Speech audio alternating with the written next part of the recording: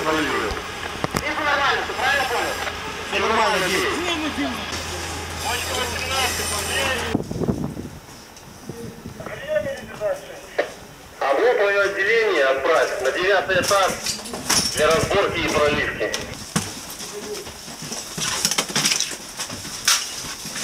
Я тебя телеперсю.